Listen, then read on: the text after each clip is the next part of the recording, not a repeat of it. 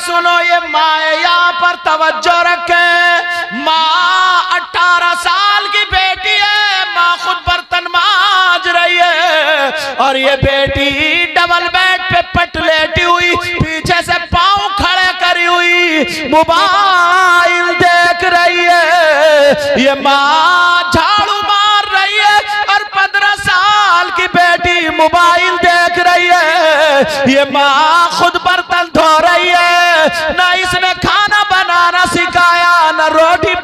सिखाया ना इसने कुछ काम करना सिखाया। जब बीस साल की हो गई तो शादी कर दी। अब इस अम्मा से पूछो, इसकी ससुराल में रोटी बनाने क्या तू जाएगी खुशी खुशी में ना पंद्रह बीस दिन तक तो खूब कूद कूद के करती रहती है। एक महीने के बाद अब इसके सर में और कमर में दर्द शुरू। अब खिलाते रहो बेटा दवाइयाँ। समझे? सर में और कमर में दर्द शुरू। क्योंकि कभी प्रैक्टिस नहीं काम करने की? तो मैं दो दिन भगवा लू ना पाँच पाँच दस दस किलोमीटर तुम्हारे पांवों में दर्द होगा नहीं होगा बोलो? फावड़ा चलवा लू मुझसे तुम एक घंटा फावड़ा चलवा फैल जाऊँगा। पाँच मिनट भी नहीं चलेगा। और अगर आपसे दो घंटे तकरीर कराऊं तो फैलोगे नहीं निकल ही लोगे। तुम तो क्योंकि तकरीर की नहीं? लेकिन मैं जो बता रहा हूँ लड़कियों को तैयार। यार तुम्हारी बेटी नबी की बेटी से ज़्यादा अच्छी अल्लाह। सैयदा फातिमा। एक दिन ना नबी ने बुलाया क्या बेटी दिल चाह रहा है आ जाओ देखने के लिए। अब पहुँच तो गई मगर नबी अपनी बेटी के लिए ना खड़े हो जाते थे। क्या हो जाते थे? खड़े हो जाते थे। अब हाथ थोड़े ऐसे करे हुए हाथ। हाथ। अब बार बार नबी सोच रहे बेटी, हाथ बढ़ाए तो मैं हाथ पकड़ लू। हाथ, छोटे बच्चे अपनी बेटी का हाथ पकड़ते नहीं हुए कि हाथ पकड़ लूँ। अब फातिमा सोच रही है, नबी ने अगर हाथ पकड़ लिया तो मेरे हाथ के छाले दिख जाएँगे। वो नबी की शहजादी अगर दुआ कर दे दी तो खाना पका पकाया आ जाता। मगर अपने हाथ चक्की पीसी। अपने हाथ से चक्की चलाई आटा पीसा। अपने हाथ से सारा काम किया। मगर कभी अली की शिकायत नहीं की। सुबह अब तीन महीने में नौबत आ जाती है। या तो तुम अपनी माँ को छोड़ दो, बाप को छोड़ दो, बस। अब मैके को आके मैं नहीं जाऊँगी, मुझ पे काम इतना पड़ रहा, दो चार महीने इधर रही, दो चार महीने इधर रही, अब आखिरी फैसला ये होता कि अलग हो जाओ। ज़िंदगी में तोड़ने का काम कर रहे हो, तोड़ने का। अरे जब वो अपने सगे भाई को छोड़ देगा, सगे बाप को छोड़ देगा तो पड़ोसी को कैसे जोड़ेगा? जोड़ सकता क्या वो? अब फैसला कर दिया जाता कि अकेले रहो। खत्म। थोड़े दिनों वो भी चलती है अब ये भी। तलाक पे नौबत आ जाती है तलाक पे। बोलो आती है नहीं आती? कितनी लड़ाइयाँ झगड़े और ये अब्बा जो है ना अब्बा। और ये भाई और बाज बाज बहनोई इसका भी बहुत बड़ा हाथ होता है। इसकी भी कबर में बहुत पिटाई होगी। अगर बेटी ना वहाँ से ससुराल से आके थोड़ी सी बात बता दे तो ये अब्बा गलत शह देता है। कहता बैठ यहाँ दस हज़ार रुपए क्योंकि पैसा नई नई दौलत मिली है या ज़मीन अच्छी खासी है गन्ना खूब होगा धान खूब होंगे लगा देता दस हज़ार रुपए वकील को दे के केस लगा दिया। ये मूछ को तान के कहता तान के बेटी को गलत शह देता बेटी को गलत शह और बेटी का दिमाग खराब हो जाता है। मगर सुनो ये सीरत मुस्तफ़ा है तो नबी की सीरत का एक बाब में से थोड़ी झलक सुनाऊं। अगर इजाज़त तो सुनाऊं। मेरे नबी की बेटी सैयदा फातिमा और हज़रत अली। सुभान अल्लाह सुभान शादी हो गई थी। थोड़ी सी अनबन हो गई। और ये अनबन थोड़ी सी थी, तुम्हारी वाली नहीं थी। बाज बाज आदमी इतना बदतमीज है, हज़रत। इतना बदतमीज है। वो बेचारी अपनी माँ को छोड़कर आई, बाप को छोड़कर आई भाई बहन को छोड़कर आँगन में खड़ो कर और बात पूछो, क्या निकली? लाइट भाग गई। अरे भाई, बिजली भाग गई बीबी को गाली, तू क्यों बक रहा पागल इंसान।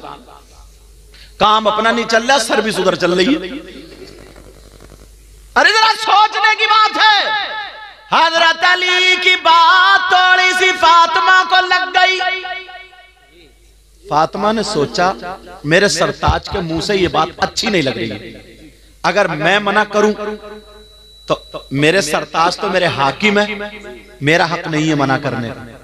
किससे मना करवाऊं? सोचा अबू बकर से करना। उस्मान से ना उमर से ना फिर मेरे अली की बात दूसरों पे चली जाएगी। फिर किससे? सोचा मेरे बाबा से बड़ा प्यार करते हैं। आका से अली बड़ा प्यार करते हैं। चलो आका से कहलवा दो। सैयदा फातिमा हज़रत अली में थोड़ी सी अनबन हुई। हज़रत अली उधर दीवार से बैठे थे, फातिमा अली के पास आ गई और आकर के सलाम करने लगी, अस्सलाम वालेकुम व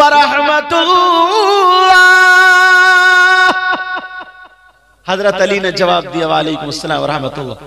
अब हज़रत अली ऊपर को नहीं देखते। फातिमा ताकि मेरी तरफ़ को देखे। अली फिर भी नहीं देखते। फिर फातिमा ने कहा तो हज़रत अली ने दुस्दीदा नज़रों से देखा। समझे? ऐसे करके देखा। हाँ बोलो फातिमा क्यों आई हो? तो हज़रत फातिमा ने सोचा लाओ अली पे दो चार बातें तो रखी दू। मियाँ बीबी में प्यार होता ना? फातिमा मुस्कुरा के कहने लगी मेरे सरताज इजाज़त लेने आई हूँ। इजाज़त समझ रहे हो? ये इजाज़त हम लोगों में भी बड़ी मशहूर है। जब चलते हैं ना, जलसे के बाद हाँ भाई, इजाज़त दे दो। इजाज़त नहीं, लिफाफा मांगना ही तो बड़ी खुल के कहता भाई हाँ भाई, कहा कमेटी वाले लाओ, इजाज़त लाओ। इजाज़त का मतलब समझ रहे हो? लाओ जो हमारा नजराना था लाओ बात सीधी सच्ची यही है। अब ढूंढते फिर रहे ना भाई, गाँव के इमाम साहब से इजाज़त ले लो, कोई हाजी साहब है, उनसे इजाज़त प्रधान जी, नहीं, जो जलसा करा रहे क्योंकि मालूम है वो वाली इजाज़त इन्हीं के पास है। तो अब समझ गया कौन सी इजाज़त तो ये वो वाली इजाज़त नहीं है। और लफ्ज ऐसे से इस्तेमाल हो जाए ना, मोटरसाइकिल वाला आया कोई, जैसे ही आया तो उधर चालान हो रहा। बोले हाँ भाई, क्या हाल है? बोले, जाइए मत, मामू खड़े मामू। मामू समझ रहे होगे कौन है। हाँ वो पुलिस वाले। चालान जो बोले, मामू खड़े मामू। लेकिन ये इजाज़त कौन सी थी तवज्जो रखो। हज़रत अली कहने लगे, फातिमा काय की इजाज़त है। अल्लाह अल्लाह जब का इजाज़त दे दो, का फातिमा काय के लिए? हज़रत अली बोले, मैं अपने फातिमा बोली मैं अपने अब्बा के घर जा रही हूँ। हज़रत अली बोले, क्यों जा रही हो? तो कहने लगी मैं आपकी अपने अब्बा से शिकायत करूँगी। अल्लाह, इससे एक मसला और निकलता मेरी बहन, सुन ले। शौहर की इजाज़त के बगैर बीबी को घर से निकलना जायज़ नहीं। समझ रही होंगी? शौहर की इजाज़त के. ये तो सब इजाज़त लेकर आई होंगी। हो नहीं तुम ज़रूर कोई ना कोई ऐसा होगा जो इजाज़त लेगा। हाँ मैं जा रही हूँ। बाद बाद में बच्चे थे ये बहुत रो रहा इसे भी लेते जाओ। समझे होते कौन साकी समझ रहे हो पीछे वाले लड़के का मतलब ही ये था कि इनका नाम आ जाए। शाहर की इजाज़त के बगैर घर से निकलना जायज़ नहीं। मगर एक जुमला बोल दूँ हंसियो मत। समझ रहे सिराज? इजाज़त की बात कर रहे हो तुम इनसे? हाँ। तुम गए धान लेने और ये गई मोहल्ले में आग लगाने। तुम गए धान लगाने, ये कहा गई? बाज बाज औरत को कोई काम नहीं है सिवाय मोहल्ले में आग लगाने के। सुबह को खा लेगी खूब जम के और घरों में बैठती फिर रही है, कह रही, तूने सुना? उसकी लड़की ऐसी, लड़का ऐसा और यूँ था और तू था। तमाम बातें पूरे उगल डाली और एक ही सांस में दड़ा दड़ा बोलती चली जा रही है और बोलने के बाद बोली, मुझे काम बहुत है, चल रही इसे काम बहुत है, इस लुतुड़ी को। बैठ के तस्बीह पढ़ लेती। पूरे मोहल्ले में आग लगा रही है, आग। दूसरे घर में घुस गई। दूसरे घर में घुस गई कि मेरी बहू ऐसी है, छोटी वाली, ऐसी है, बड़ी वाली, ऐसी है, उसकी अम्मा ने ये दिया और ये सिखाया, वो नहीं सिख, पूरी बहुओं की उगल के चली आई। अब बताओ, बरकतें होंगी। औरत को इजाज़त, शौहर की इजाज़त के बगैर घर से कदम निकालना जायज़ नहीं। आज के बाद अगर जाए तो शौहर की इजाज़त लेकर के जाए। मर्दों पर ना मर्दों पर। सबसे ज़्यादा हक उसकी माँ का और बाप का है। और औरतों पर सबसे ज़्यादा उसके शौहर का समझे? शौहर का अगर उसका बीबी का बाप इधर हो, शौहर इधर हो। बाप कह, मेरी सुन। शौहर कह, मेरी सुन। तो अब ये किसकी सुने? इस्लाम ये कहता कि शौहर का हक ज़्यादा मगर कई कई बच्चों की अम्मा हो जाती है, रिमोट अब भी मैके वालों के हाथ में ही है। वो कह रहे हैं, टेढ़ी चल तो टेढ़ी चल रही है। वो कह रहे हैं, लड़ तो लड़ रही है। वो कह रहे हैं, सीधी हो जाए तो सीधी चल रही है। मगर मैं बताऊँ जरा सुनो, नबी की बेटी सैयदा फातिमा बोली, इजाज़त चाहिए। इजाज़त। अली बोले, क्यों? शिकायत करूँगी। अरे, जब इतना कहा तो हज़रत अली की आँखों में आँसू आ गया। नबी से मेरी शिकायत। और वो भी नबी की बेटी फातिमा। हज़रत अली रोने लगे हज़रत अली की आँखों में आँसू आ गए। अल्लाह अल्लाह जब फातिमा ने देखा फ़ौरन बैठ गई अपना चल लिया। अली के आँसू पहुँच दिए काली। क्या तुम्हें उम्मीद है मैं शिकायत कर सकती हूँ? ये तो प्यार की बातें थी। अल्लाह अल्लाह हज़रत अली बोले जा तो रही हो तुम्हें इजाज़त है। मगर ये दुआ करो, तुम्हारे नबी तक पहुँचने से पहले पहले अली का इंतकाल हो जाए। जब इतना सुना, फातिमा ने अली के मुँह पे हाथ रखा, अली चुप हो गए। अब अपना चल उठा करके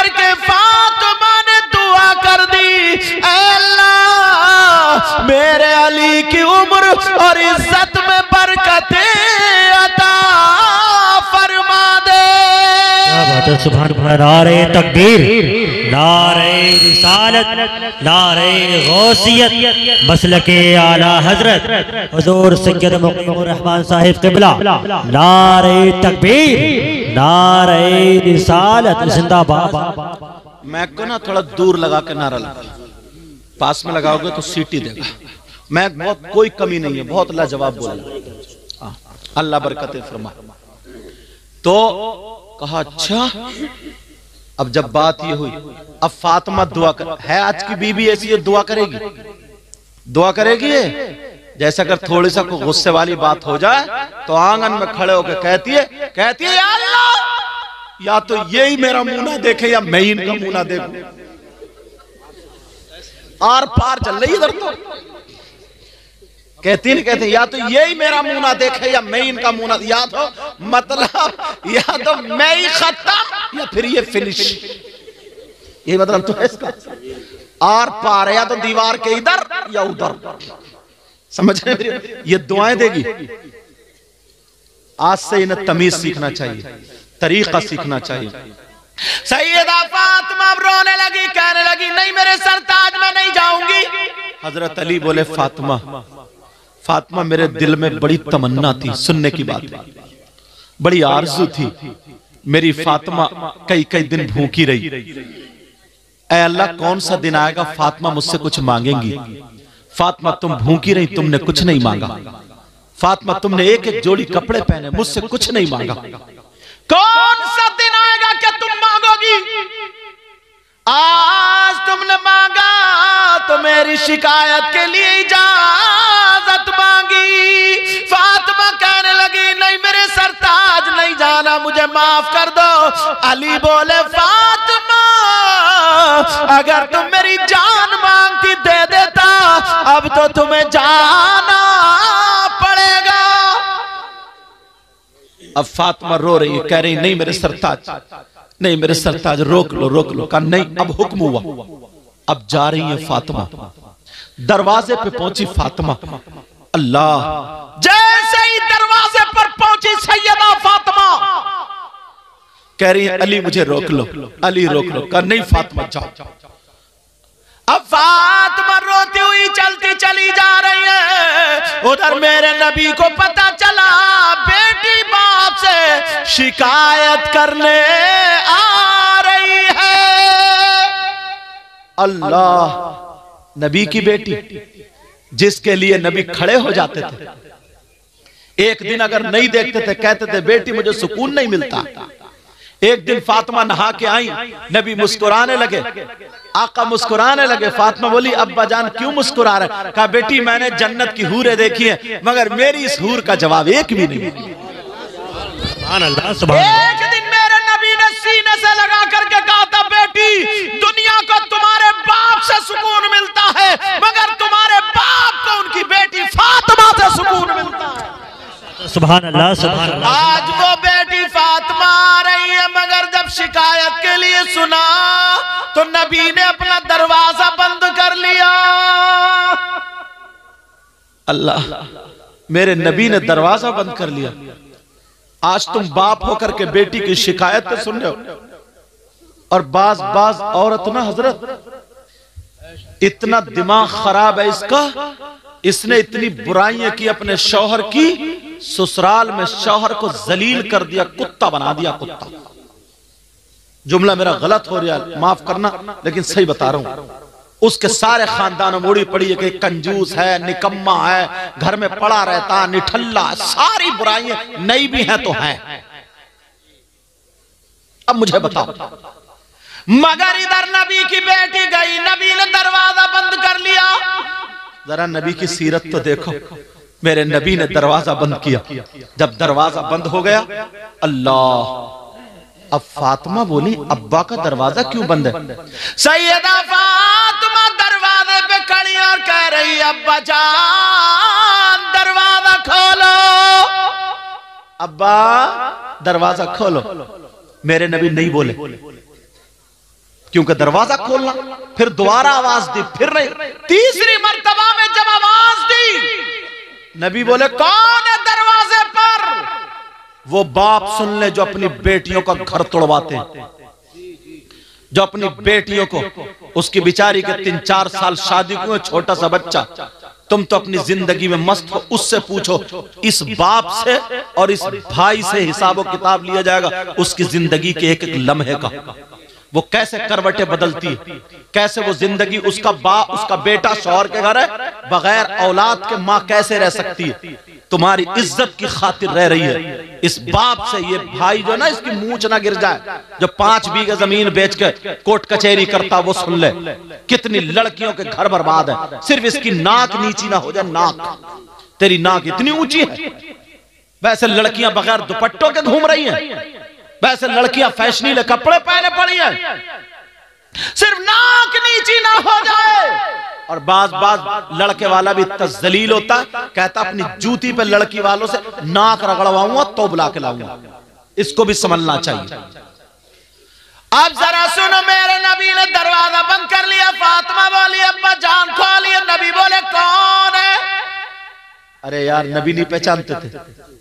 फातिमा जिस रास्ते से निकल जाए और गुजर जाए कई मिनट गुजर जाए फिर नबी उस गली से आते थे तो सूंघ के बता दिया करते थे मेरी फातिमा इधर से गुजरी है। आहट से बता दिया करते थे मेरी फातिमा। है आज आवाज़ से नहीं बताएँगे। सैयदा फातिमा बोली अब्बा जान दरवाज़ा खोलिए का कौन है काम मैं आपकी बेटी? हूँ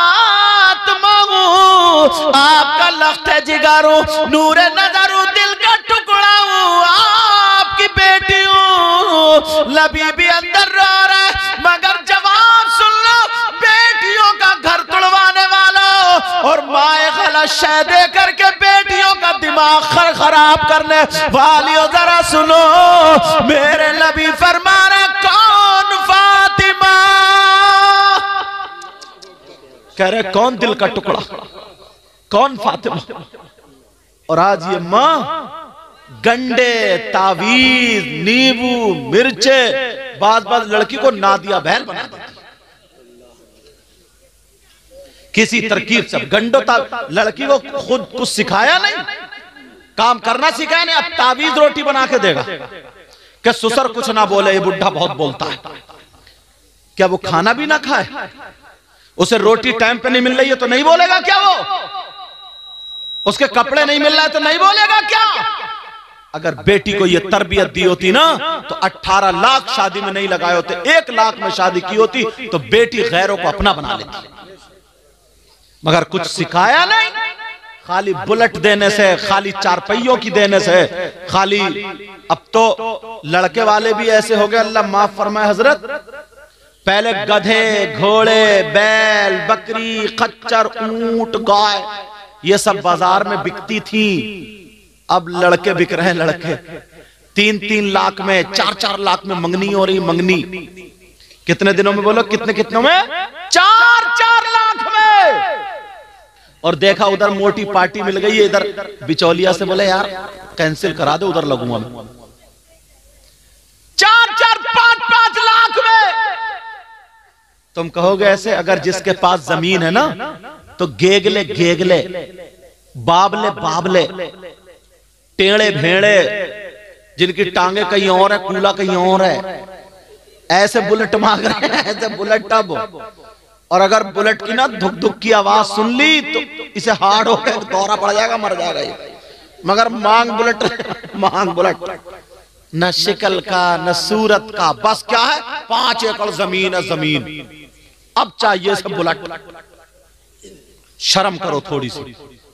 गैरत करो थोड़ी सी। हज़रत उमर 22 लाख मुरब्बा मील के बादशाह थे तुम्हारी पाँच एकड़ ज़मीन क्या है? और खलीफा, खलीफतुल मुस्लिमीन 22 लाख के मुरब्बा मील का बादशाह। और इतनी बात नबी फरमाते मेरा इंसान तो इंसान सुनो। नबी फरमाते हैं मेरा उम्र जिधर से निकल जाना तो इंसान इन शैतान भी हट जाता। है वो अगर चाहते तो ये कहते थे मुझे टक्कर का दिलवा दो टक्कर का। बिचौलिया के कान में निकाल देता है रिश्ता कराऊं बोले हाँ जरा थोड़ा टक्कर का मिल जाए तो कर लू। टक्करे लगा रहे हाँ। टक्करे। तेरी कबर तो तेरी टक्कर कबर में निकलेगी, देख। हज़रत उमर ने एक बेवा लड़की से अपने बेटे का रिश्ता किया। सिर्फ़ नेकी क्या थी उसकी? दौलत नहीं देखी, नेकी देखी, नेकी। पहले दौलत क्या होती थी? कामकाज का बकरियाँ पालते थे, मवेशी। बकरियाँ पालते थे। उसके घर में कई बकरियाँ थी।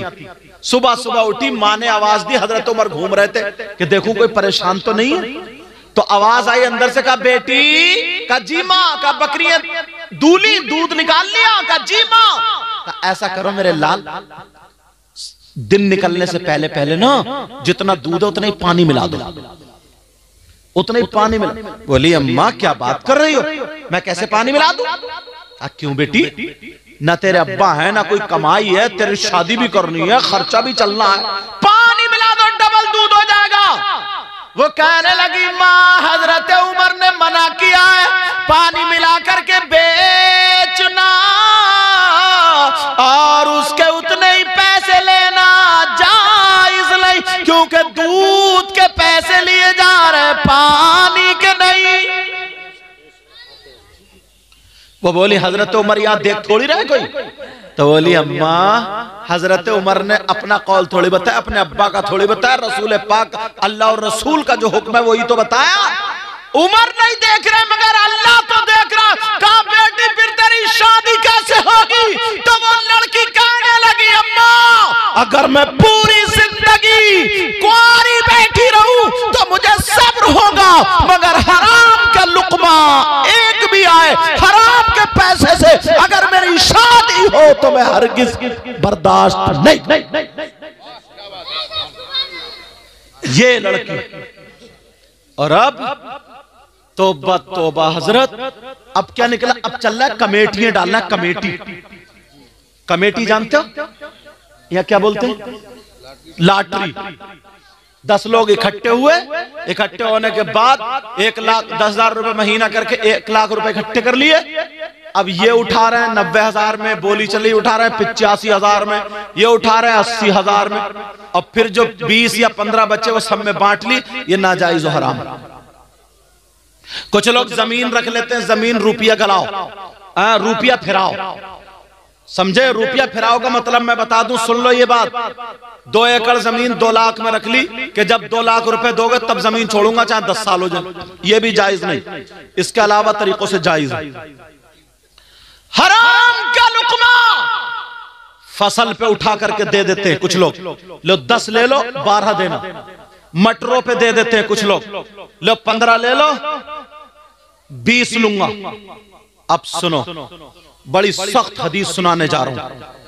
तवज्जो रखना।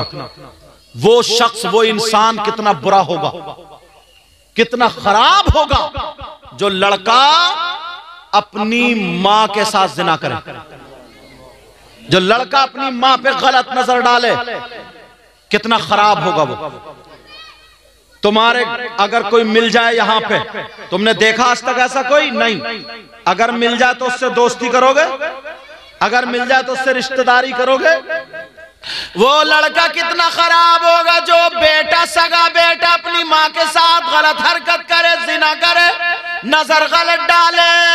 मर तो सकता मगर माँ के साथ गलत हरकत नहीं कर सकता, प्यारे, मगर सुनो, नबी का जरा फरमान सुनते चले जाओ। करिया नगला सानी के गयूर मुसलमानों, जरा सुनो, नबी फरमाते, सूद और ब्याज क्या बोलो? सूद और ब्याज का नाम सुनो, कितने लोग सट्टा खेल रहे हैं। बग्गी बाग पे, मोबाइल पे, ताश पे, जुए खेल रहे हैं, जुए। नबी फरमाते, सूद और ब्याज इसका जो गुना होता है इस गुना के सत्तर दराजात होते। हैं कितने?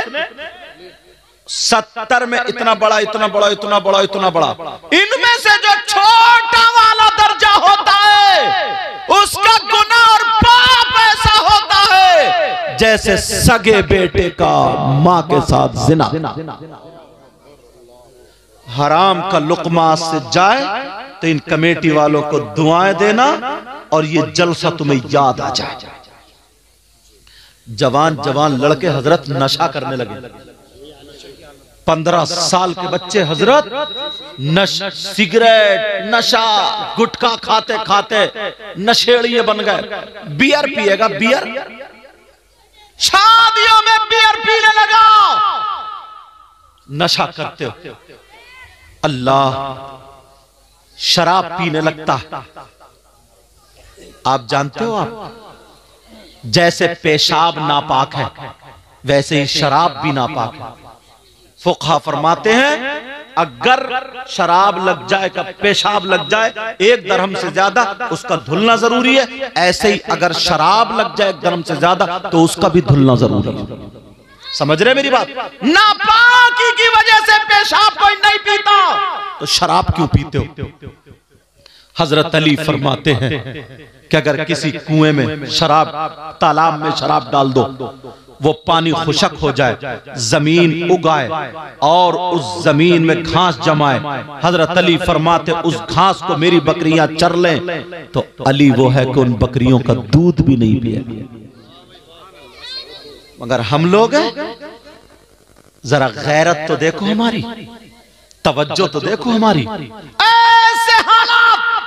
फातिमा बोली, अब्बा जान, मैं आपकी बेटी दरवाजे पर। नबी बोले, कौन बेटी? अब तो पाऊँ के नीचे की ज़मीन निकल गई। फातिमा बोली, अब्बा जान, मैं हसन की माँ फातिमा। का कौन हसन? कौन फातिमा? अब तो और ज़मीन निकल गई। का अब्बा जान, मैं हुसैन की माँ फातिमा। नबी बोले, कौन हुसैन? अल्लाह। नबी, नमाज़ पढ़ रहे हुसैन पीठ पे बैठ जाए। नबी सजदे से सर नहीं उठा रहे हैं। और आज कह रहे हैं, कौन हुसैन? नबी जुमे के दिन खुतबा पढ़ रहे हैं, हुसैन थोड़े से गिर जाए। नबी खुतबा रोक करके हुसैन को उठाने चले जाए। और आज कह रहे हैं, कौन हुसैन? दोनों बच्चों को सामने बिठा के कह रहे मन युहिब्बुहुमा। आज कह रहे हैं, कौन हुसैन? नबी कह रहे हैं, बेटी फातिमा, इन्हें मत रुलाया करो, तुम्हारे बाबा को तकलीफ़ होती है। आज कह रहे हैं, कौन हुसैन? सैयदा फातिमा कहने लगी, अब्बा जान, मैं हुसैन की माँ फातिमा हूँ। नबी बोले, कौन हुसैन? कौन फातिमा? बाप सुन लो, माँ सुन ले। अब फातिमा कहने लगी, अब्बा जान, मैं आपकी बीबी खदीजतुल कुबरा की बेटी फातिमा हूँ। नबी बोले, कौन खदीजा? कौन फातिमा? अब नबी बोले, कौन फातिमा? अब फातिमा कहने लगी, अब्बा जान, मैं अली की बीबी फातिमा हूँ। नबी बोले, अगर अली की बीबी फातिमा हो तो पहले जाकर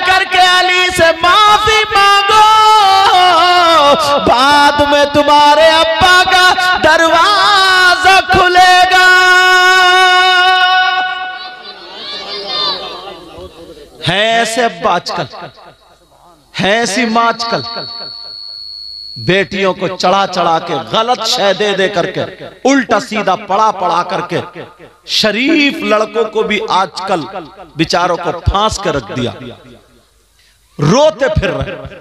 लड़कियाँ भी परेशान है, लड़के भी सिर्फ़ इस माँ बाप की वजह से। फातिमा चली आई। अल्लाह नबी इतना रोए ना, किताबों में आता है, ये दाढ़ी से आँसू निकल के ना, यहाँ का पैराहन नबी का भीग जाता सैयदा फातिमा चली गई, नबी ने दरवाज़ा खोला, नबी भी खूब रोए। और सीधी रोती हुई जाकर के अली के कदमों पे चली गई। कहने लगी, अली, माफ़ कर दो। आज अब्बा ने मेरे लिए दरवाज़ा नहीं खोला। आज अब्बा ने मुझे नहीं पहचाना। और ये कहा, जब तक अली से माफ़ी नहीं मांगोगी, उस वक्त तक अब्बा का दरवाज़ा नहीं खुलेगा। फातिमा रो रही है तो अली ने पाँव नहीं मारा, लात नहीं मारी, गाली नहीं दी। सैयदा फातिमा ने जब माफ़ी मांगी तो अली ने मोढ़े पकड़ के उठाया और सीने से लगाया।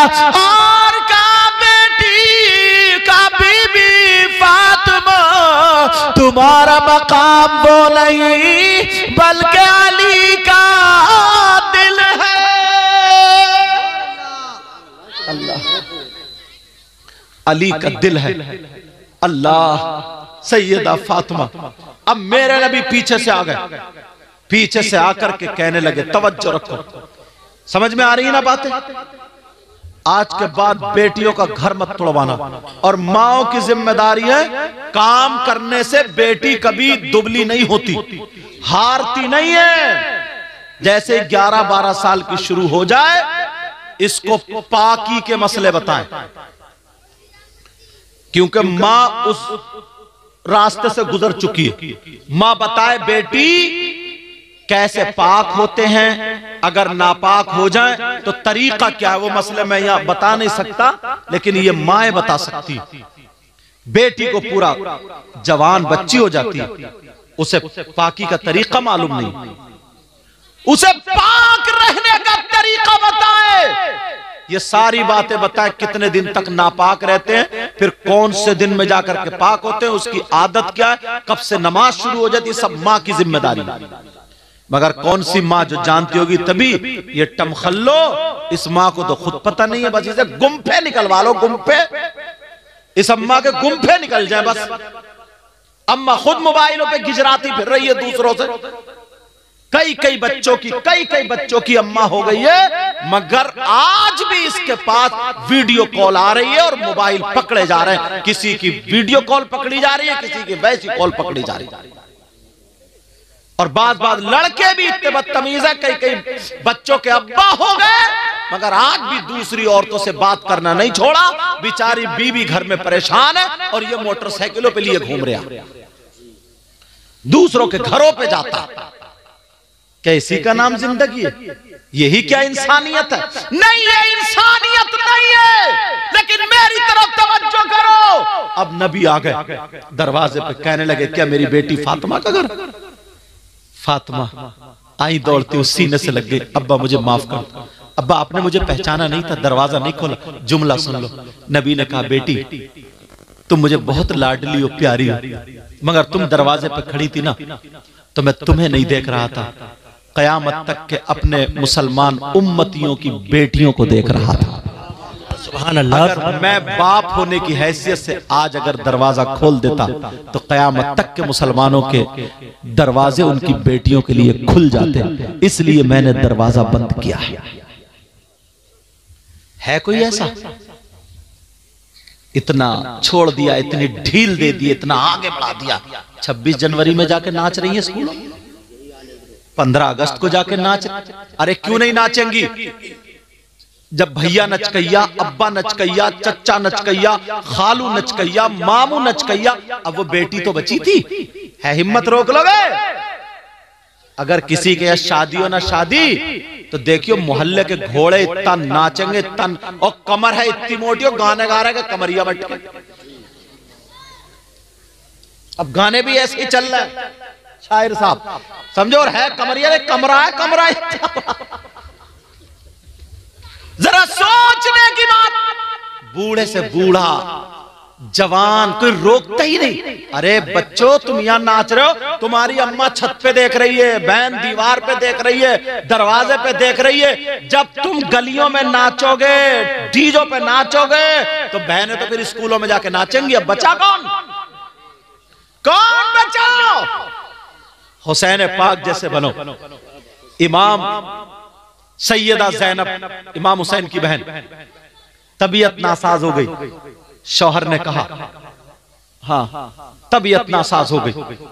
जैसे तबीयत नासाज हुई दवा लाए ठीक नहीं हुई। फिर कहा चलो मेरे साथ चलो। हकीम को हाथ दिखा देने कहा नहीं मैं गैर मर्द के सामने नहीं जाऊँगी। कहा मैं गैर मर्द के सामने नहीं जाऊँगी। कहा अरे इतनी तो इस्लाम इजाज़त देता है ना। तुम मेरे साथ जाओगी पर्दे से जाओगी। वो तुम्हारे हालात देख लेगा, तफ्तीश करेगा। इतनी तो इस्लाम इजाज़त देता है। मगर बहन ने क्या कहा था सुनो, बहन ने ये कहा था, मेरे सरताज, मेरे पाँच मिनट भी नहीं चलेगा। और अगर आपसे दो घंटे तकरीर कराऊं तो फैलोगे नहीं, निकल ही लोगे तो। क्योंकि तकरीर की नहीं। लेकिन मैं जो बता रहा हूँ, लड़कियों को तैयार यार, तुम्हारी बेटी, नबी की बेटी से ज़्यादा अच्छी अल्लाह। सैयदा फातिमा। एक दिन ना नबी ने बुलाया क्या बेटी दिल चाह रहा है आ जाओ देखने के लिए। अब पहुँच तो गई मगर नबी अपनी बेटी के लिए ना खड़े हो जाते थे। क्या हो जाते थे? खड़े हो जाते थे। अब हाथ थोड़े ऐसे करे हुए हाथ। हाथ अब बार बार नबी सोच रहे हैं, बेटी, हाथ बढ़ाए तो मैं हाथ पकड़ लू। हाथ, छोटे बच्चे अपनी बेटी का हाथ पकड़ते नहीं हुए, कि हाथ पकड़ लू? अब फातिमा सोच रही है, नबी ने अगर हाथ पकड़ लिया तो मेरे हाथ के छाले दिख जाएँगे। वो नबी की शहजादी अगर दुआ कर दे दी तो खाना पका पकाया आ जाता। मगर अपने हाथ से चक्की पीसी, अपने हाथ से चक्की चलाई, आटा पीसा, अपने हाथ से सारा काम किया। मगर कभी अली की शिकायत नहीं की। बेशक सुभान अल्लाह सुभान अल्लाह अब तीन महीने में नौबत आ जाती है। या तो तुम अपनी माँ को छोड़ दो बाप को छोड़ दो बस। अब मैके को आके मैं नहीं जाऊँगी मुझ पे काम इतना पड़ रहा दो चार महीने इधर रही दो चार महीने इधर रही अब आखिरी फैसला ये होता कि अलग हो जाओ। ज़िंदगी में तोड़ने का काम कर रहे हो तोड़ने का। अरे जब वो अपने सगे भाई को छोड़ देगा सगे बाप को छोड़ देगा तो पड़ोसी को कैसे जोड़ेगा? जोड़ सकता क्या वो? अब फैसला कर दिया जाता कि अकेले रहो। खत्म। थोड़े दिन वो भी चलती है अब ये भी। तलाक पे नौबत आ जाती है तलाक पे। बोलो आती है नहीं आती? कितनी लड़ाई है झगड़ और ये अब्बा जो है ना अब्बा। और ये भाई और बाज बाज बहनोई इसका भी बहुत बड़ा हाथ होता है। इसकी भी कबर में बहुत पिटाई होगी। अगर बेटी ना वहाँ से ससुराल से आके थोड़ी सी बात बता दे तो ये अब्बा गलत शह देता है। कहता बैठ यहाँ। दस हज़ार रुपए क्योंकि पैसा नई नई दौलत मिली है। या ज़मीन अच्छी खासी है गन्ना खूब होगा धान खूब होंगे। लगा देता दस हज़ार रुपए वकील को दे के केस लगा दिया। ये मूछ को तान के कहता तान के। बेटी को गलत शह देता, बेटी को गलत शह और बेटी का दिमाग खराब हो जाता है। मगर सुनो, ये सीरत मुस्तफ़ा है तो नबी की सीरत का एक बाप में से थोड़ी झलक सुनाऊं। अगर इजाज़त सुनाऊं। मेरे नबी की बेटी सैयदा फातिमा और हज़रत अली। शादी हो गई थी। थोड़ी सी अनबन हो गई। और ये अनबन थोड़ी सी थी तुम्हारी वाली नहीं थी। बाज बाज आदमी इतना बदतमीज है हज़रत। इतना बदतमीज है। वो बेचारी अपनी माँ को छोड़ के आई बाप को छोड़कर आई भाई बहन को छोड़, आँगन में खड़ो कर और बात पूछो, क्या निकली? लाइट भाग गई। अरे भाई, बिजली भाग गई बीबी को गाली, तू क्यों बकरिया पागल इंसान। काम अपना नहीं चल रहा, सर्विस उधर चल रही अरे जरा सोचने की बात है। हज़रत अली की बात थोड़ी सी फातिमा को लग गई। फातिमा ने सोचा, मेरे सरताज के मुँह से ये बात अच्छी नहीं लग रही। है अगर मैं मना करूँ तो मेरे सरताज तो मेरे हाकिम है। मेरा हक नहीं है मना करने। का किससे मना करवाऊं? सोचा अबू बकर से करना, उस्मान से ना, उमर से ना, फिर मेरे अली की बात दूसरों पे चली जाएगी। फिर किससे? सोचा, मेरे बाबा से बड़ा प्यार करते हैं। आका से अली बड़ा प्यार करते चलो, आका से कहलवा दो फातिमा हज़रत अली में थोड़ी सी अनबन हुई। हज़रत अली उधर दीवार से बैठे थे। फातिमा अली के पास आ गई और आकर के सलाम करने लगी। अस्सलाम वालेकुम व रहमतुल्लाह। हज़रत अली ने जवाब दिया, वालेकुम अस्सलाम व रहमतुल्लाह। अब हज़रत अली ऊपर को नहीं देखते। फातिमा ताकि मेरी तरफ़ को देखे। अली फिर भी नहीं देखते। फिर फातिमा ने कहा तो हज़रत अली ने दुस्दीदा नज़रों से देखा। समझे? ऐसे करके देखा। हाँ बोलो। फातिमा क्यों आई हो? तो हज़रत फातिमा ने सोचा, लाओ, अली पे दो चार बातें तो रखी दूँ। मियाँ बीबी में प्यार होता ना? फातिमा मुस्कुरा के कहने लगी, मेरे सरताज, इजाज़त लेने आई हूँ। इजाज़त समझ रहे हो? ये इजाज़त हम लोगों में भी बड़ी मशहूर है। जब चलते हैं ना जलसे के बाद हाँ भाई, इजाज़त दे दो। इजाज़त नहीं, लिफाफा मांगना आई तो बड़ी खुल के कहता भाई हाँ भाई, कहा कमेटी वाले लाओ, इजाज़त लाओ। इजाज़त का मतलब समझ रहे हो? लाओ जो हमारा नजराना था, लाओ। बात सीधी सच्ची यही है। अब ढूंढते फिर रहे ना, भाई, गाँव के इमाम साहब से इजाज़त ले लो, कोई हाजी साहब है, उनसे इजाज़त प्रधान जी, नहीं, जो जलसा करा रहे क्योंकि मालूम है वो वाली इजाज़त इन्हीं के पास है। तो अब समझ गया कौन सी इजाज़त तो ये वो वाली इजाज़त नहीं है। और लफ्ज ऐसे ऐसे इस्तेमाल हो जाए ना, मोटरसाइकिल वाला आया कोई, जैसे ही आया तो उधर चालान हो रहा। बोले हाँ भाई क्या हाल है? बोले जइए मत मामू खड़े मामू। मामू। समझ रहे होगे कौन है? हाँ वो पुलिस वाले। चालान जो बोले मामू खड़े मामू लेकिन ये इजाज़त कौन सी थी तवज्जो रखो। हज़रत अली कहने लगे, फातिमा की इजाज़त है? अल्लाह अल्लाह जब का इजाज़त दे दो, का फातिमा काय के लिए हज़रत अली बोले, मैं अपने फातिमा बोली मैं अपने अब्बा के घर जा रही हूँ। हज़रत अली बोले, क्यों जा रही हो? तो कहने लगी, मैं आपकी अपने अब्बा से शिकायत करूँगी। अल्लाह। इससे एक मसला और निकलता, मेरी बहन, सुन ले। शौहर की इजाज़त के बगैर बीबी को घर से निकलना जायज़ नहीं। समझ रही होंगी? शौहर की इजाज़त के. ये तो सब इजाज़त लेकर आई होंगी। आई हो नहीं मत तुम ज़रूर कोई ना कोई ऐसा होगा जो इजाज़त लेगा। हाँ मैं जा रही हूँ। बाद बाद में बच्चे थे ये बहुत रो रहा इसे भी लेते जाओ। समझे? होते कौन साकी समझ रहे हो पीछे वाले लड़के का मतलब ही ये था कि इनका नाम आ जाए। शौहर की इजाज़त के बगैर घर से निकलना जायज़ नहीं। मगर एक जुमला बोल दूँ, हंसियो मत। समझ रहे सिराज? इजाज़त की बात कर रहे हो तुम इनसे। हाँ तुम गए धान लेने और ये गई मोहल्ले में आग लगाने। तुम गए धान लगाने, ये कहा गई? बाज बाज औरत को कोई काम नहीं है सिवाय मोहल्ले में आग लगाने के।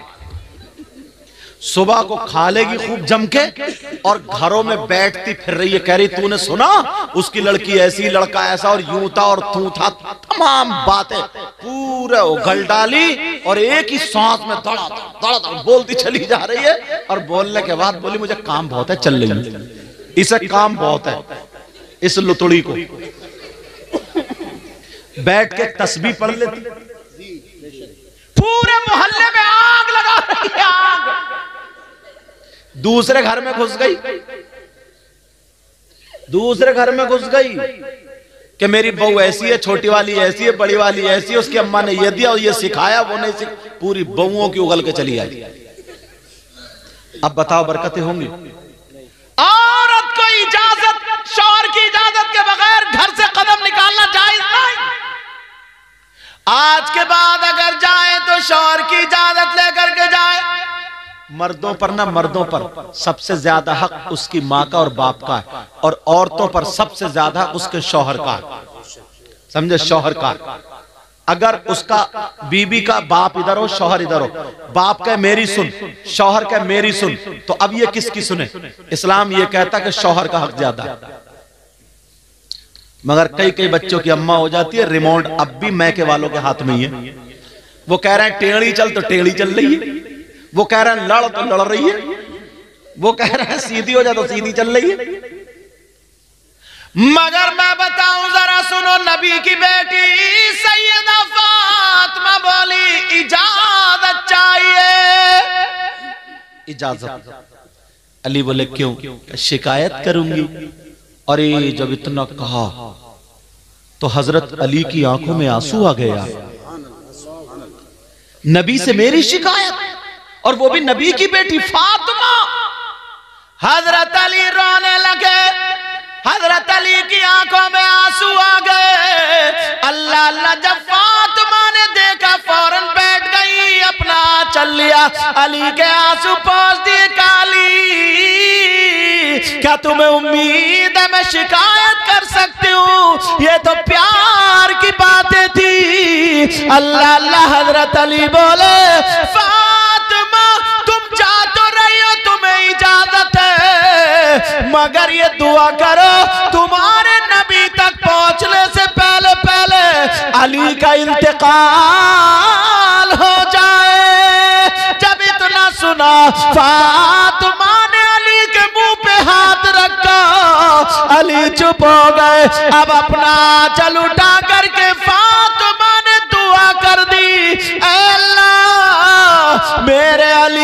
उम्र और इज़्ज़त में बरकतें अता फरमा दे।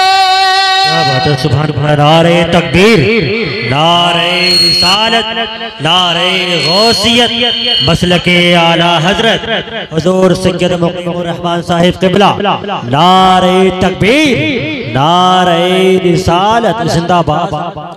मैं को ना थोड़ा दूर लगा के नारा लगा। पास में लगाओगे तो सीटी देगा। मैं बहुत कोई कमी नहीं है, बहुत लाजवाब बोला। अल्लाह बरकत फरमा। तो कहा अच्छा अब जब बात ये हुई, अब फातिमा दुआ कर, है आज की बीबी ऐसी दुआ करेगी? दुआ करेगी जैसे अगर थोड़ी सा गुस्से वाली बात हो जाए तो आँगन में खड़े होकर कहती है कहती है, या अल्लाह, या तो यही मेरा मुँह ना देखे या मैं इनका मुँह ना देखूँ। आर पार चल रही इधर तो।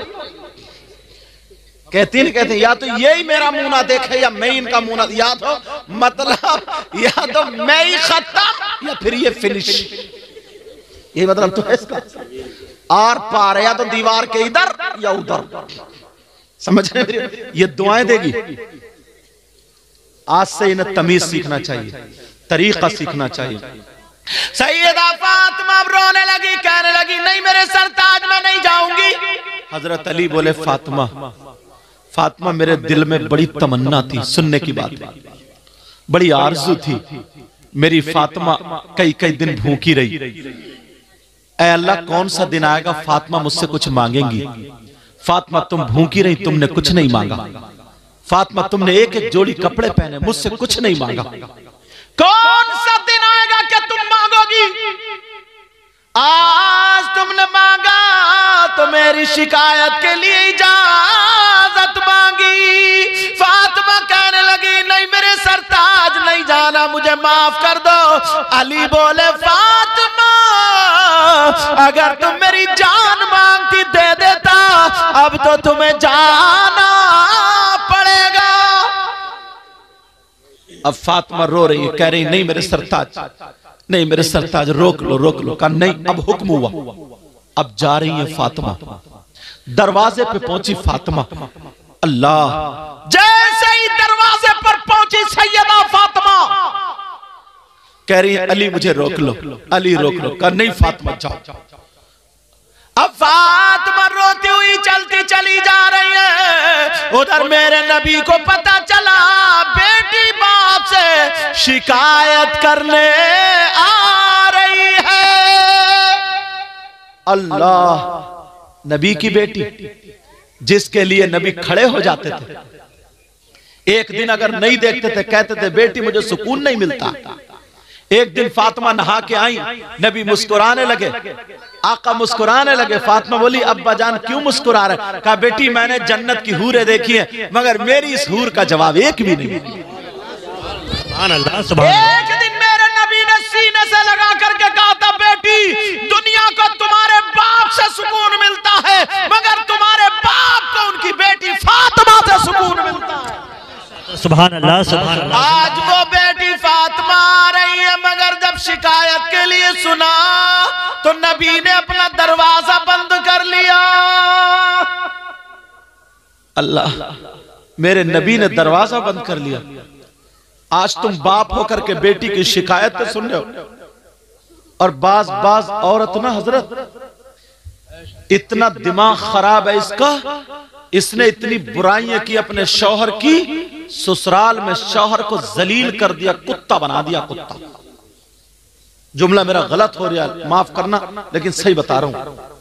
उसके सारे खानदान में उड़ी पड़ी है कि कंजूस है निकम्मा है घर में पड़ा रहता है निठल्ला सारी बुराइयाँ नई भी हैं तो हैं। अब मुझे बताओ। मगर इधर नबी की बेटी गई नबी ने दरवाज़ा बंद कर लिया। जरा नबी की सीरत तो देखो। मेरे नबी ने दरवाज़ा बंद किया। जब दरवाज़ा बंद हो गया अल्लाह अब फातिमा बोली, अब्बा का दरवाज़ा क्यों बंद है? सैयदा फातिमा दरवाजे पे खड़ी और कह रही, अब्बा जान, दरवाज़ा खोलो। अब्बा, दरवाज़ा खोलो। मेरे नबी नहीं बोले।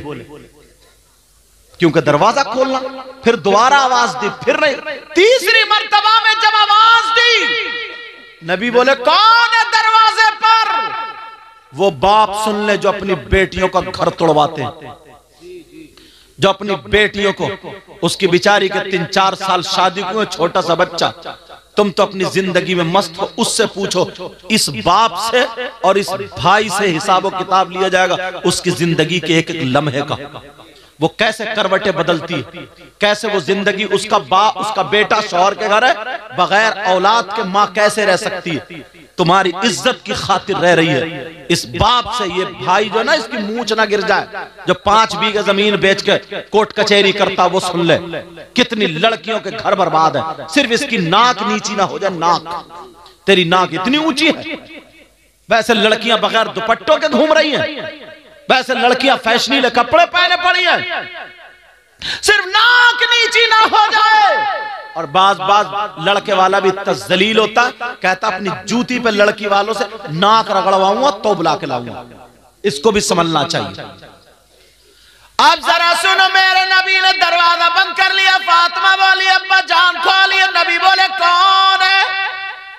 अरे यार, नबी नहीं पहचानते थे। फातिमा जिस रास्ते से निकल जाए और गुजर जाए कई मिनट गुजर जाए फिर नबी उस गली से आते थे तो सूंघ के बता दिया करते थे मेरी फातिमा इधर से गुजरी है। आहट से बता दिया करते थे मेरी फातिमा है। आज आवाज़ से नहीं बताएँगे। सैयदा फातिमा बोली अब्बा जान दरवाज़ा खोलिए का कौन है काम मैं आपकी बेटी? हूँ आपका लख्त है जिगारू, नूर नजरू, दिल का टुकड़ा हूँ, आपकी बेटी हूँ लबी भी अंदर रहा है, मगर जवाब सुन लो, बेटियों का घर तुड़वाने वाला। और माए गलत शह दे करके बेटियों का दिमाग खर खराब करने वालियों, जरा सुनो। मेरे लबी फरमा रहे, कौन फातिमा? कह रहे, कौन दिल का टुकड़ा? कौन फातिमा? और आज ये माँ, गंडे, तावीज, नींबू, मिर्चे बाज बाज लड़की को नादिया बहन बना देती किसी तरकीब से गंडो ता, लड़की को खुद कुछ सिखाया नहीं। काम करना सिखाया नहीं, अब तावीज रोटी बना के देगा। क्या सुसर कुछ ना बोले, ये बुढ़ा बहुत बोलता है। क्या वो खाना भी ना खाए? उसे रोटी टाइम पे नहीं मिल रही है तो नहीं बोलेगा क्या वो? उसके कपड़े नहीं मिल रहा तो नहीं बोलेगा क्या? अगर बेटी को ये तरबियत दी होती ना तो 18 लाख शादी में नहीं लगाए होते एक लाख में शादी की होती तो बेटी गैरों को अपना बना लेती। मगर कुछ सिखाया नहीं? खाली बुलेट देने से खाली चारपहियों की देने से। खाली अब तो लड़के वाले भी ऐसे हो गए अल्लाह माफ़ फरमाए हज़रत। पहले गधे घोड़े बैल बकरी खच्चर ऊँट गाय। ये सब बाज़ार में बिकती थी। अब लड़के बिक रहे हैं लड़के। तीन तीन लाख में, चार चार लाख में मंगनी हो रही मंगनी। कितने दिनों में बोलो? कितने कितनों में? चार चार लाख में। और देखा उधर मोटी पार्टी मिल गई इधर। बिचौलिया से बोले, यार कैंसिल करा दो उधर लगूँगा मैं। चार चार पाँच पाँच लाख में। तुम कहोगे ऐसे, अगर जिसके पास ज़मीन है ना तो गेगले गेगले। बाबले बाबले। टेढ़े, भेड़े, जिनकी टांगे कहीं और है, कूला कहीं और है। ऐसे बुलेट मांग रहे हैं, ऐसे बुलेट टब और अगर बुलेट की ना धुक धुक की आवाज़ सुन ली तो इसे हार्ड हो गया, दौरा पड़ जाएगा, मर जाएगा मगर मांग बुलेट मांग बुलेट। न शिकल का, न सूरत का, बस क्या है? पाँच एकड़ ज़मीन है, ज़मीन। अब चाहिए सब बुलेट। शर्म करो थोड़ी सी। गैरत करो थोड़ी सी। हज़रत उमर 22 लाख मुरब्बा मील के बादशाह थे तुम्हारी पाँच एकड़ ज़मीन क्या है? और खलीफा, खलीफतुल मुस्लिमीन 22 लाख के मुरब्बा मील का बादशाह। और इतनी बात नबी फरमाते, मेरा इंसान तो इंसान सुनो। नबी फरमाते हैं, मेरा उम्र जिधर से निकल जाना तो इंसान, इन शैतान भी हट जाता। है वो अगर चाहते तो ये कहते थे, मुझे टक्कर का दिलवा दो, टक्कर का। बिचौलिया के कान में निकाल देता है रिश्ता कराऊं, बोले हाँ जरा थोड़ा टक्कर का मिल जाए तो कर लू। टक्करे लगा रहे हाँ। टक्करे। तेरी कबर तो तेरी टक्कर कबर में निकलेगी, देख। हज़रत उमर ने एक बेवा लड़की से अपने बेटे का रिश्ता किया। सिर्फ़ नेकी क्या थी उसकी? दौलत नहीं देखी, नेकी देखी, नेकी। पहले दौलत क्या होती थी? कामकाज के बकरियाँ पालते थे मवेशी। बकरियाँ पालते थे। उसके घर में कई बकरियाँ थी। सुबह सुबह उठी माँ ने आवाज़ दी हज़रत उमर घूम रहे थे कि देखो कोई परेशान तो नहीं है? तो आवाज़ आई अंदर से कहा बेटी का जीमा का बकरियाँ दूली दूध निकाल लिया का जी माँ। कहा, ऐसा करो मेरे लाल दिन निकलने से पहले पहले ना जितना दूध है उतना ही पानी मिला दो। उतना ही पानी मिला। बोली, अम्मा, क्या बात कर रही हो? मैं कैसे पानी मिला दू? क्यों बेटी? ना तेरे अब्बा है, ना कोई कमाई है, तेरी शादी भी करनी है, खर्चा भी चलना है। पानी मिला दो, डबल दूध हो जाएगा। वो कहने लगी, माँ, हज़रत उमर ने मना किया है, पानी मिला करके बेचना, और उसके उतने ही पैसे लेना जायज़ नहीं, क्योंकि दूध पैसे लिए जा रहे, पानी के नहीं। वो बोली, हज़रत उमर यहाँ देख, थोड़ी रहे कोई? तो बोली, अम्मा, हज़रत उमर ने अपना कौल थोड़ी बताया, अपने अब्बा का थोड़ी बताया, रसूल पाक, अल्लाह और रसूल का जो हुक्म है, वही तो बताया। उमर नहीं देख रहे, मगर अल्लाह तो देख रहा कहा, बेटी, फिर तेरी शादी कैसे होगी? तो वो लड़की कहने लगी, अम्मा, अगर मैं पूरी ज़िंदगी कुआरी बैठी रहूँ तो मुझे सब्र होगा मगर हराम का लुकमा एक भी आए हराम के पैसे से अगर मेरी शादी हो तो मैं हरगिज बर्दाश्त नहीं, नहीं, नहीं, नहीं। ये लड़की। और अब तोबा तोबा हज़रत। अब क्या निकला? अब चल रहा है कमेटियाँ डालना कमेटी। कमेटी जानते हो? या क्या बोलते हैं? लॉटरी। दस लोग इकट्ठे हुए। इकट्ठे होने के बाद एक लाख दस हज़ार रुपए महीना करके एक लाख रुपए इकट्ठे कर लिए। अब ये उठा रहे हैं नब्बे हज़ार में, बोली चली उठा रहे हैं पिचासी हज़ार में, ये उठा रहे हैं अस्सी हज़ार में। और फिर जो बीस या पंद्रह बच्चे वो सब में बांट ली, ये नाजायज हराम। कुछ लोग ज़मीन रख लेते हैं, ज़मीन रुपया गलाओ। रुपया फिराओ। समझे, रुपया फिराओ का मतलब मैं बता दूँ, सुन लो ये बात। दो एकड़ ज़मीन दो लाख में रख ली कि जब दो लाख रुपए दोगे, तब ज़मीन छोड़ूँगा, चाहे दस साल हो जाए। ये भी जायज़ नहीं। इसके अलावा तरीकों से जायज़ है। हराम का लुकमा फ़सल पे उठा करके दे देते हैं कुछ लोग। लो, दस ले लो, बारह देना। मटरों पे दे देते हैं कुछ लोग। लो, पंद्रह ले लो, बीस लूँगा। अब सुनो, बड़ी सख्त हदीस सुनाने जा रहा हूँ। तवज्जो रखना। वो शख्स, वो इंसान कितना बुरा होगा, कितना खराब होगा, जो लड़का अपनी माँ के साथ जिना करे।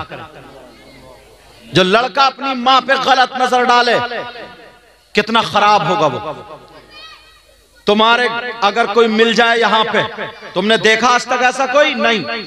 अगर मिल जाए तो उससे दोस्ती करोगे? अगर मिल जाए तो उससे रिश्तेदारी करोगे?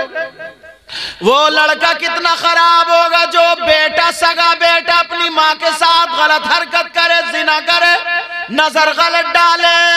मर तो सकता मगर माँ के साथ गलत हरकत नहीं कर सकता। प्यारे, मगर सुनो, नबी का जरा फरमान सुनते चले जाओ। करिया नगला सानी के गयूर मुसलमानों, जरा सुनो, नबी फरमाते, सूद और ब्याज क्या बोलो? सूद और ब्यास का नाम सुनो कितने लोग सट्टा खेल रहे हैं। बग्गी बाग पे, मोबाइल पे, ताश पे, जुए खेल रहे जुए। नबी फरमाते सूद और ब्याज इसका जो गुना होता है इस गुनाह के सत्तर दराजात होते हैं। कितने?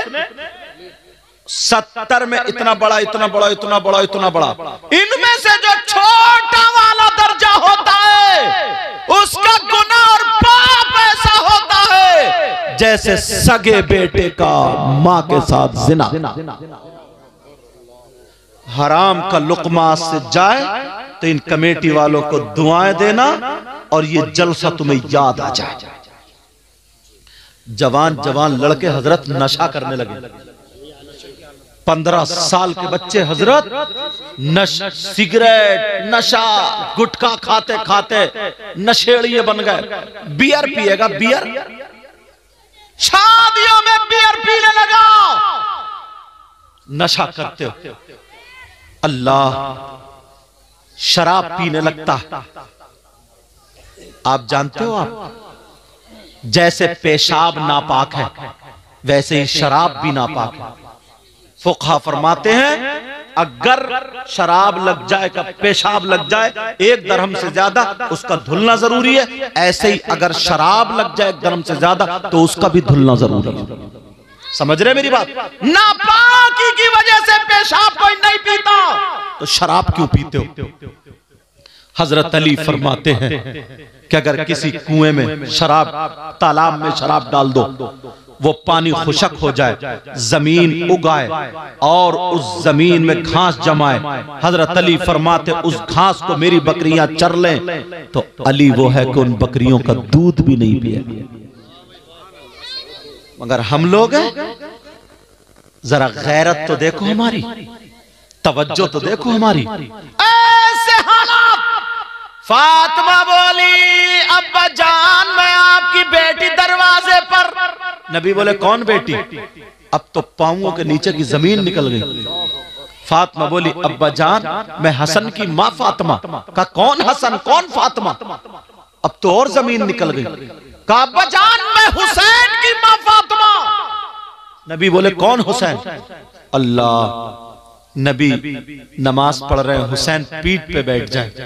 नबी सजदे से सर नहीं उठा रहे और आज कह रहे हैं कौन हुसैन नबी जुमे के दिन खुतबा पढ़ रहे हैं हुसैन थोड़े से गिर जाए नबी खुतबा रोक करके हुसैन को उठाने चले जाए और आज कह रहे हैं कौन हुसैन दोनों बच्चों को सामने बिठा के कह रहे हैं युहिब्बुहुमा आज कह रहे हैं कौन हुसैन नबी कह रहे हैं बेटी फातिमा इन्हें मत रुलाया करो तुम्हारे बाबा को तकलीफ़ होती है आज कह रहे हैं कौन हुसैन सैयदा फातिमा कहने लगी, अब्बा जान, मैं हुसैन की माँ फातिमा हूँ। नबी बोले, कौन हुसैन? कौन फातिमा? बाप सुन लो, माँ सुन ले। अब फातिमा कहने लगी, अब्बा जान, मैं आपकी बीबी खदीजतुल कुबरा की बेटी फातिमा हूँ। नबी बोले, कौन खदीजा? कौन फातिमा? अब नबी बोले, कौन फातिमा? अब फातिमा कहने लगी, अब्बा जान, मैं अली की बीबी फातिमा हूँ। नबी बोले, अगर अली की बीबी फातिमा हो तो पहले जाकर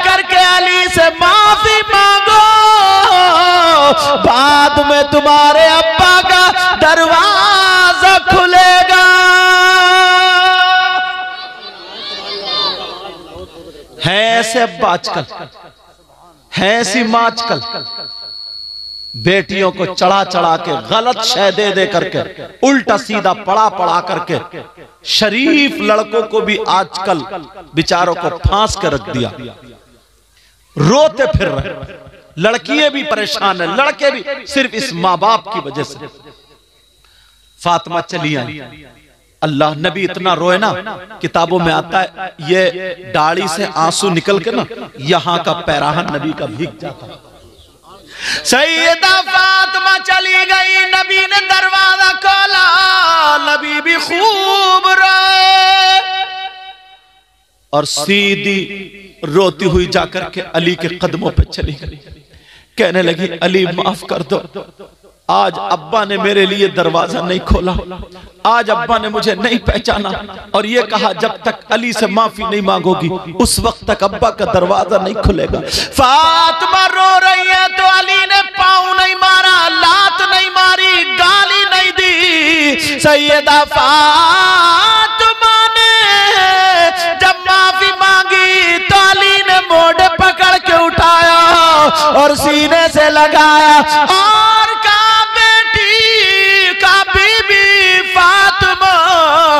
तुम्हारा मकाम वो नहीं, बल्कि अली का दिल है। अल्लाह। अली का दिल है। अल्लाह, सैयदा फातिमा। अब मेरे नबी पीछे से आ गए। पीछे से आकर के कहने लगे, तवज्जो रखो। समझ में आ रही है ना बातें? आज के बाद बेटियों का घर मत तोड़वाना। और माओ की ज़िम्मेदारी है काम करने से बेटी कभी दुबली नहीं होती। हारती नहीं है। जैसे 11-12 साल की शुरू हो जाए इसको पाकी के मसले बताएँ। क्योंकि माँ उस रास्ते से गुजर चुकी है। माँ बताए बेटी कैसे पाक होते हैं? अगर नापाक हो जाए तो तरीका क्या है? वो मसले मैं यहाँ बता नहीं सकता लेकिन ये माए बता सकती बेटी को पूरा जवान बच्ची हो जाती है। उसे पाकी का तरीका मालूम नहीं। उसे पाक रहने का तरीका बताए। ये सारी बातें बताए कितने दिन तक नापाक रहते हैं फिर कौन से दिन में जाकर के पाक होते हैं उसकी आदत क्या है? कब से नमाज़ शुरू हो जाती है सब माँ की ज़िम्मेदारी। मगर कौन सी माँ जो जानती होगी तभी ये टमखल्लो इस माँ को तो खुद पता नहीं है बस इसे गुम्फे निकलवा लो गुम्फे इस अम्मा के गुम्फे निकल जाए बस। अम्मा खुद मोबाइलों पे गिजराती फिर रही है दूसरों से। कई कई बच्चों की कई कई बच्चों की अम्मा हो गई है मगर आज भी इसके पास वीडियो कॉल आ रही है और मोबाइल पकड़े जा रहे हैं। किसी की वीडियो कॉल पकड़ी जा रही है किसी की वैसी कॉल पकड़ी जा रही है। और बाद बाद लड़के भी इतने बदतमीज है कई कई बच्चों के अब्बा हो गए। मगर आज भी दूसरी औरतों से बात करना नहीं छोड़ा। बेचारी बीवी घर में परेशान है और ये मोटरसाइकिलों पे लिए घूम रहा। दूसरों के घरों पे जाता। क्या इसी का नाम ज़िंदगी है? यही क्या इंसानियत है? नहीं, ये इंसानियत नहीं है। लेकिन मेरी तरफ़ तवज्जो करो। अब नबी आ गए। दरवाजे पे कहने लगे, क्या मेरी बेटी फातिमा का घर फातिमा आई दौड़ती उस सीने से लग गई। अब्बा मुझे माफ़ कर अब्बा आपने मुझे पहचाना नहीं था दरवाज़ा नहीं खोला। जुमला सुन लो। नबी ने कहा बेटी तुम मुझे बहुत लाडली और प्यारी हो। मगर तुम दरवाजे पर खड़ी थी ना तो मैं तुम्हें नहीं देख रहा था। कयामत तक के अपने मुसलमान उम्मतियों की बेटियों को देख रहा था। अगर मैं बाप होने की हैसियत से आज अगर दरवाज़ा खोल देता तो कयामत तक के मुसलमानों के दरवाजे उनकी बेटियों के लिए खुल जाते। इसलिए मैंने दरवाज़ा बंद किया है। है कोई ऐसा? इतना छोड़ दिया, इतनी ढील दे दी, इतना आगे बढ़ा दिया। 26 जनवरी में जाके नाच रही है स्कूल पंद्रह अगस्त को जाके नाच अरे क्यों नहीं नाचेंगी? जब भैया नचकैया अब्बा नचकैया चच्चा नचकैया खालू नचकैया मामू नचकैया अब वो बेटी तो बची थी। है हिम्मत रोक लोगे? अगर किसी के यहाँ शादी हो ना शादी तो देखियो मोहल्ले के घोड़े इतना नाचेंगे तन और कमर है इतनी मोटी और गाने गा रहे कमरिया बट अब गाने भी ऐसे ही चल रहे हैं शायर साहब समझो और है कमरिया कमरा है कमरा जरा सोचने की बात। बूढ़े से बूढ़ा, जवान कोई रोकता ही नहीं। अरे बच्चों, तुम यहाँ नाच रहे हो, तुम्हारी अम्मा छत पे देख रही है, बहन दीवार पे देख रही है, दरवाजे पे देख रही है। जब तुम गलियों में नाचोगे डीजों पे नाचोगे तो बहनें तो फिर स्कूलों में जाके नाचेंगी। अब बचा कौन? कौन बचाओ हुसैन पाक जैसे बनो। इमाम सैयदा जैनब इमाम हुसैन की बहन। तबीयत नासाज हो गई। शौहर ने कहा हाँ तबीयत नासाज हो गई। जैसे तबीयत नासाज हुई दवा लाए ठीक नहीं हुई। फिर कहा चलो मेरे साथ चलो। हकीम को हाथ दिखा देने कहा नहीं मैं गैर मर्द के सामने नहीं जाऊँगी। कहा मैं गैर मर्द के सामने नहीं जाऊँगी। कहा अरे इतनी तो इस्लाम इजाज़त देता है ना। तुम मेरे साथ जाओगी पर्दे से जाओगी। वो तुम्हारे हालात देख लेगा, तफ्तीश करेगा। इतनी तो इस्लाम इजाज़त देता है। मगर बहन ने क्या कहा था सुनो, बहन ने ये कहा था, मेरे सरताज, मेरे अपनी ज़िंदगी जीते जा रहा अपनी ज़िंदगी। सबसे अच्छी ज़िंदगी मालूम है इस्लाम की क्या? आज मेरी बच्चे मेरी बात सुन ले। मुसलमानों की शादी होती है तो मुसलमानों की शादी में ना, लड़कियों के वो जूड़े नहीं दिखते। चुटिए, खूंटे नहीं दिखते। उनके यहाँ सीने तक खुला हुआ जिसम नहीं दिखता। उनके लहंगे गरारे शरारे नहीं दिखते। इनके बुरके दिखाई देते। इनके पर्दे दिखाई देते।